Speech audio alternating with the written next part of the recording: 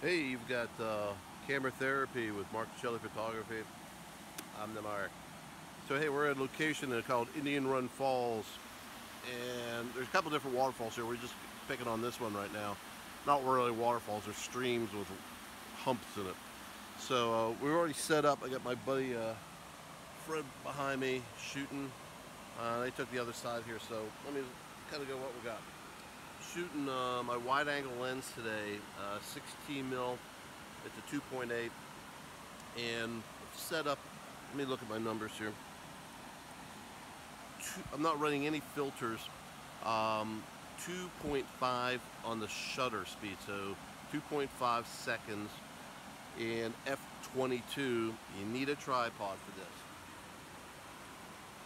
And uh, let's see how I did here. Let's go take a look. Now I'm going to do is cover up my back my camera lens.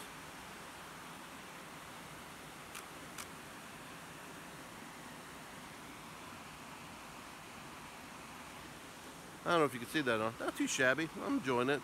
That sun's peeking through here, so uh, hopefully uh, we'll get some more really cool looking sunshine pictures coming over in this clear, clear water. So, hey, this is Camera Therapy. Mark Shelly Photography. You got the mark. Everyone have a good day today. Take care.